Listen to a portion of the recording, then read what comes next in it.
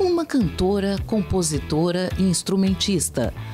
Música do Nico, agora eu lembrei. Eu sou apenas o cantor, né? Adriana Defente está no Faces.